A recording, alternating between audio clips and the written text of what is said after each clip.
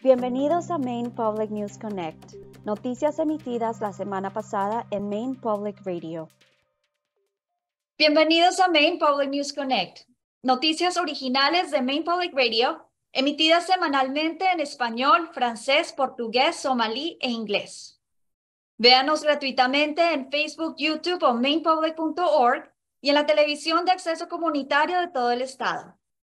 Todos los viernes tendremos nuevos episodios y un boletín de noticias. Junto con la iniciativa Your Vote de Main Public y la información política, estamos respondiendo a las preguntas de la audiencia sobre la participación en las próximas elecciones de medio término y de gobernador. Visiten mainpublic.org diagonal Your Vote o el enlace que aparece a continuación para obtener más información. Hoy es viernes 30 de septiembre. Soy su presentadora Paola Hernández y aquí están las principales noticias de la semana. El Departamento de Salud y Servicios Humanos de Maine ha anunciado esta semana que va a ampliar el acceso a las pruebas COVID-19.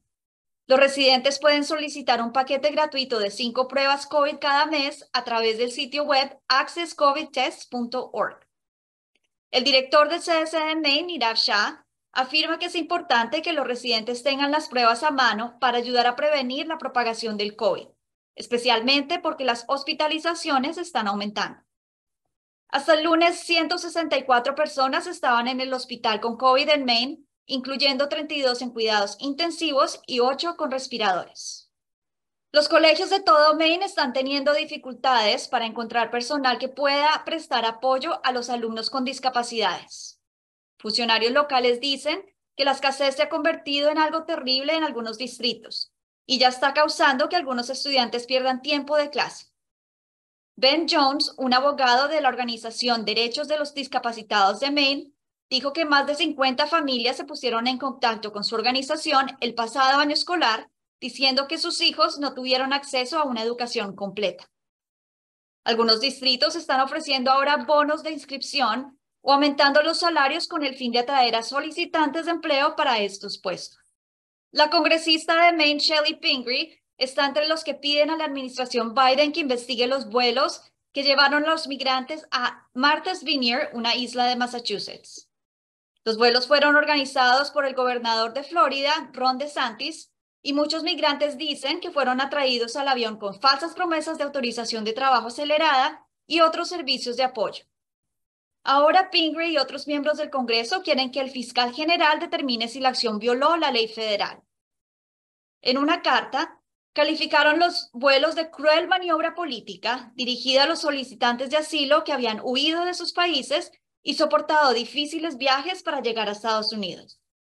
La comunidad camboyana de Maine está trabajando en el registro y en la educación de los votantes como preparación para las elecciones de mitad de periodo que tendrán lugar el 8 de noviembre. Khmer Maine, la Asociación de la Comunidad Camboyana, está registrando a los votantes en persona en varios eventos, incluyendo las fiestas en el templo budista. La organización también ha traducido la guía de votación del secretario de Estado de Maine al idioma Khmer.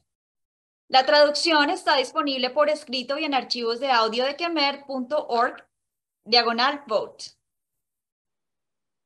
Maine Public también está respondiendo a las preguntas del público sobre las elecciones. Solo hay que ir a mainpublic.org diagonal Your Vote o hacer clic en el botón Your Vote de nuestra página de inicio. Para Main Public News Connect, soy su presentadora Paola Hernández. Gracias por sintonizarnos. Si disfruta del programa, no duden en darnos un me gusta, comentar y compartir.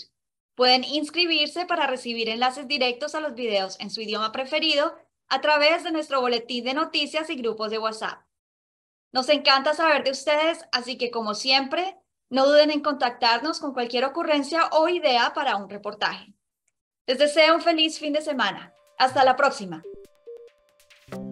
Main Public News Connect ha sido posible gracias a colaboradores individuales, empresas y fundaciones de todo Maine. Y por Q y Patricia June, Seaport Credit Union, Hannaford Supermarkets, IDEX y Maine Housing. Main Public News Connect es posible gracias a Q y Patricia June, comprometidos a unir las diferencias culturales en nuestras comunidades. Juntos. Ensemble. Para agir. Junto. Seaport Credit Union together. Los supermercados Hannaford celebran la diversidad de sus empleados, clientes y comunidades y se comprometen a fomentar un entorno acogedor. Juntos son más grandes que los comestibles. Más información en hannaford.com. En Main Housing, la vivienda es comodidad. La vivienda es la clave. Main Housing está aquí para ayudar a que las viviendas sean más cálidas, más seguras y más asequibles para los habitantes de Maine. Visite mainhousing.org para ver una lista completa de servicios.